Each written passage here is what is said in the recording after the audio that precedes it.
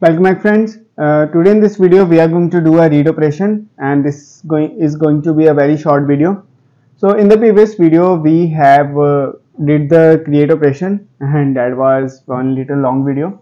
Uh, so uh, what we have done so when uh, user will click on the add user and here user will enter something like test user 2 and any username any phone number any age and when the user will click on add user and user will be added successfully. And in the database you can see the user as well. Uh, so in the users so you can see test user 2 and test user is there. So now what we are going to do so we are going to create a service uh, create a function in the service so that we can uh, read all the users but there will be a constraint. So we will only read those users those are created by this id so that we are going to do. And here let's add one more user as well. So that one is uh, user new and email user uh, at the rate user.com age let it be 30 and created by so created by let's add a string. So first of all let me go to the Appwrite console project again I have to fetch the ID of the user.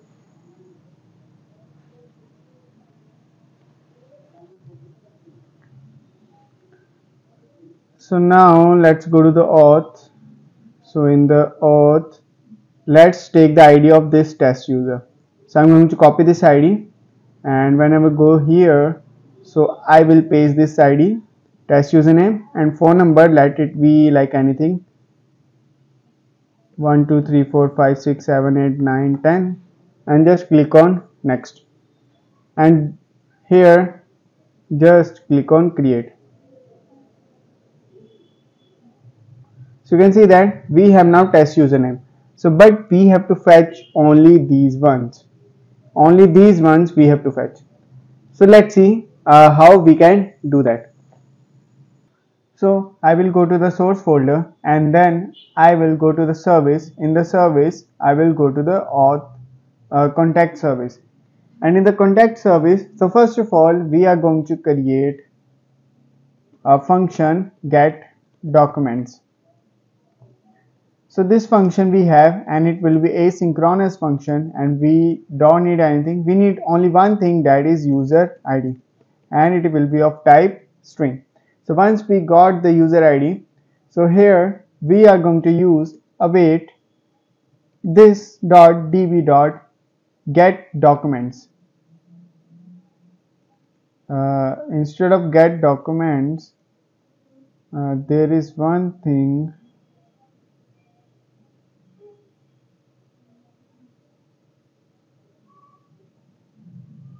that is list documents so we need the list document here and here we need the database ID and after that we need collection ID.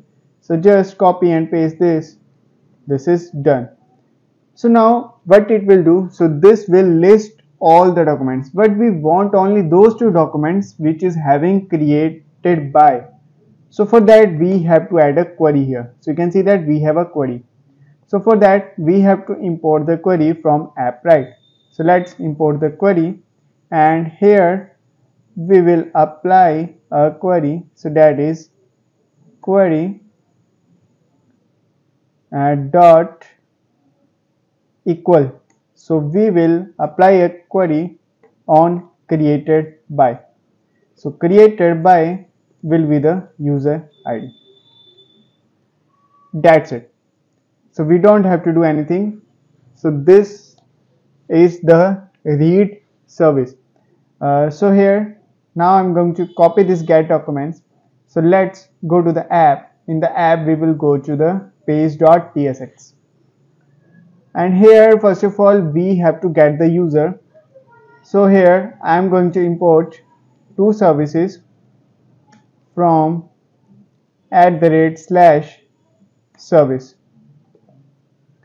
So first we are going to import auth service and then we are going to import contact service so first of all we are going to get the user and set the user. Set the user and here we are going to use use state. And by default the user will be of type any and it will be null. And the second thing we are going to create list documents. Documents and set documents. And by default it will be of any array and array will be null. And the third thing we are going to create for the loading and we are going to set the loading here and use state it will be of boolean and by default loading will be true. Now let's apply the use effect. So use effect. And first of all we are going to fetch the user. Before that we have to create two instances. So first instance for the auth service is equals to await auth service dot get instance. And same uh, actually we don't have to use await. And here will be the contact service. For the contact service we are going to get the instance. Done. And here we are going to get first of all fetch data and by default the loading will be true. And this will be the asynchronous function. And first of all we are going to get the user. So we have to get the user here. So for that I'm going to use const response is equals to await that is auth service dot get account. And I'm going to set the user with this one. That is get uh, response. Done and now we are going to fetch the users.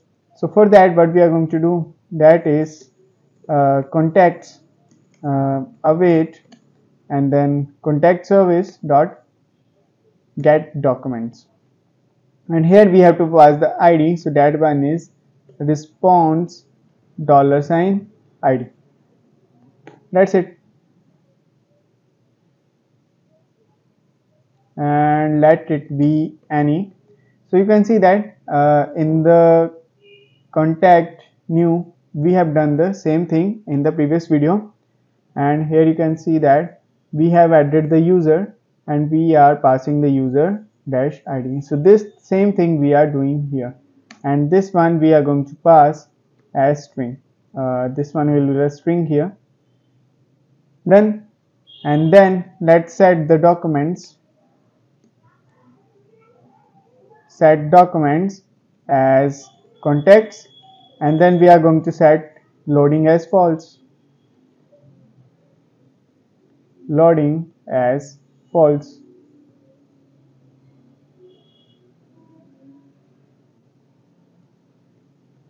Set loading false.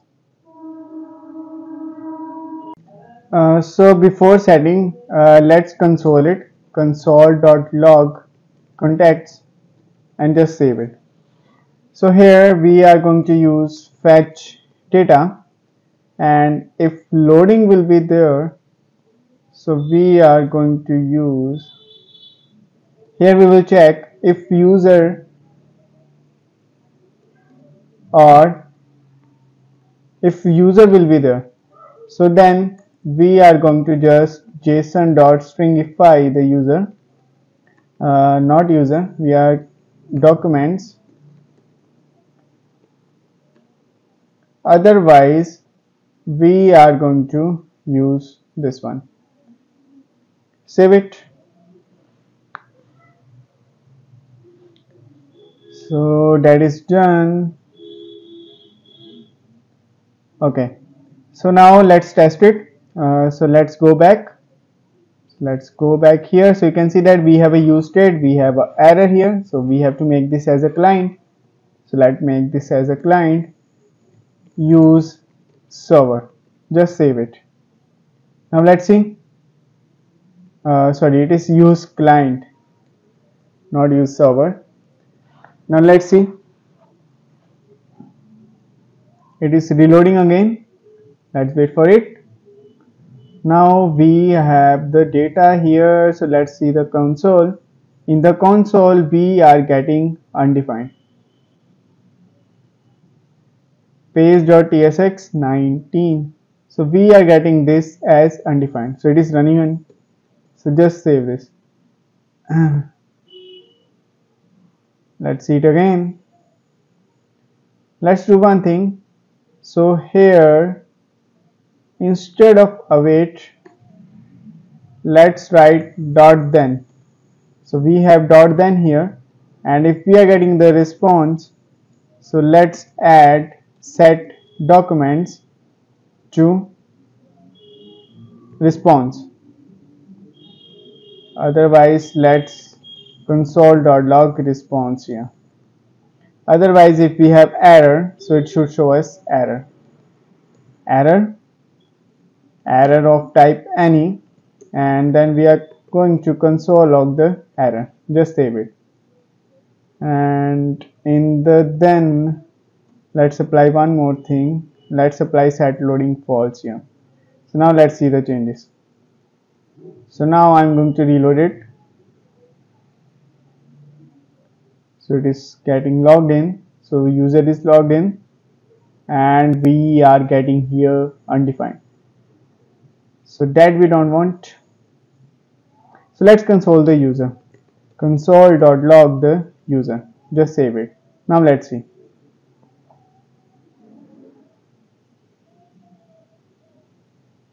It is still getting undefined. Uh, let's see the response here. It is building again. Now you can see that we are getting the user. Also we are getting the id here. But it's still coming undefined. So there is some issue. Let's see the contact service again. Here we have the user id and created by user id yeah. That's right. Database id collection id and then we have a query. So that is created by and user id so let's change this to string again. Let's see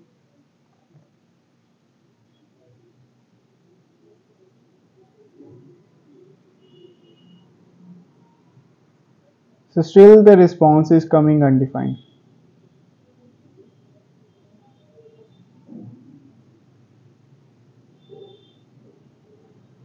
So let's not write await here.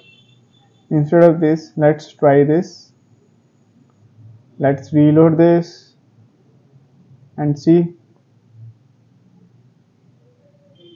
It's still getting undefined we are still getting undefined here.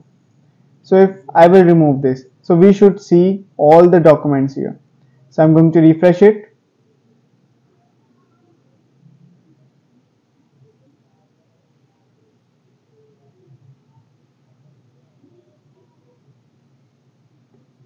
So here it is still getting undefined.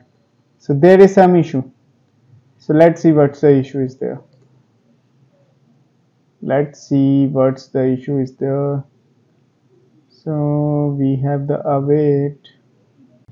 So the issue is this. Here we are not returning anything. So return here. Just save this. And returning here.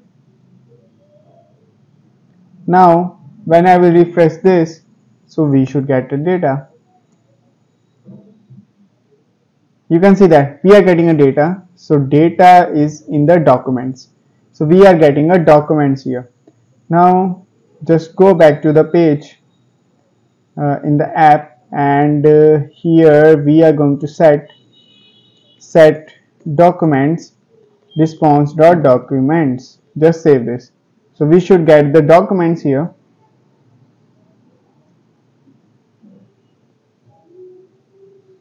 Now you can see that we are getting a documents and here we have name, email created by everything we have, we have the ID here as well. So let's create a table. So here we are going to create a table uh, that table table uh, let first of all here will be a div div with class name as width full and height auto let's padding to be 14 and flex flex call and let the gap will be 10 just like this we have a table here. So here we are going to write h1 with the class name as text 4xl and font as bold and we are going to add text as center and width as full here. And here margin top will be 10 and what we are going to write? We are going to write users list. Just save it. Now you can see that we have the user list here. So text will be 7xl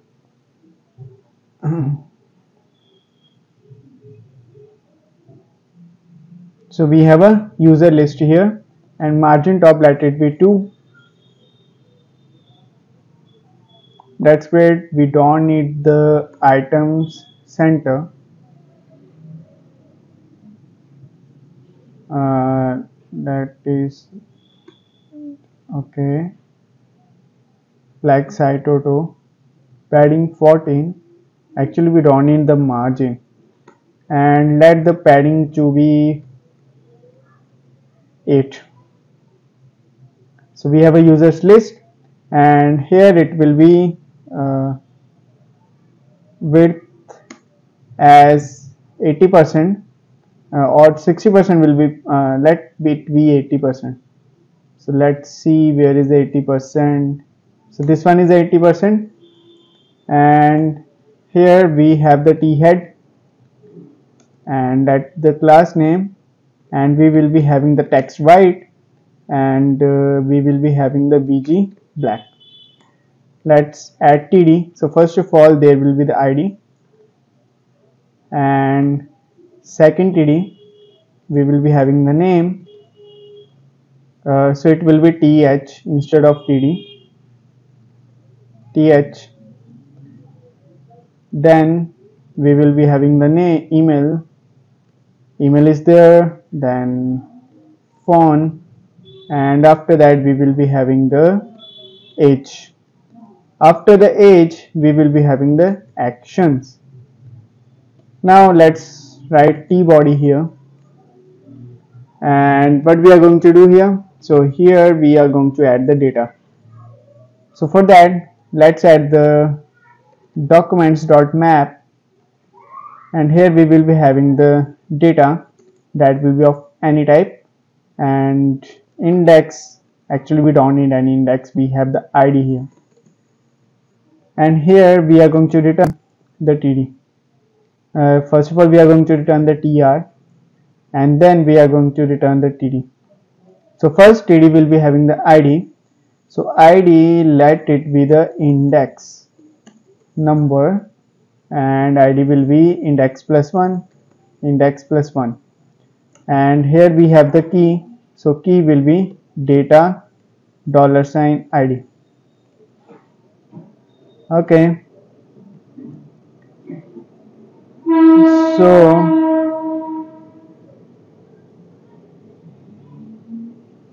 here we need the name data dot name and here we need data dot email and here we need data dot name email phone and age. And in the actions we will be having something different let me make a class name flex and uh, items center gap 3 and here we will be having the two things. One we will be having the link and link will be 2 edit uh, slash contact slash added and we will be having the id so id will be same. So that is data.id so we have this link here and that will be added instead of 2 it is h reference and let's add the we don't need the class name here. And here we will be having the link to delete it so that will be of type button. And its type will be button. And it will be delete. So we are going to add the classes here. Class name that is border 0 bg transparent and text we need red 600 so just save it. Now we should see some changes so let's see the changes here. So now you can see that we are getting this one as beautiful. So here let it be mx auto. And we need the padding here. Uh, so padding will be padding y will be let it be 2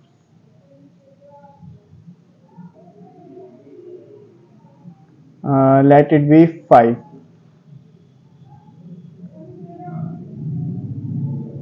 so padding is not working.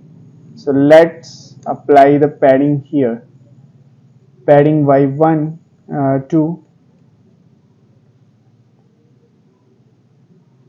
so you can see that we have the padding here. So let's apply padding as 4 so now it's looking good. So let's apply the same padding below. Uh, so here will be the same padding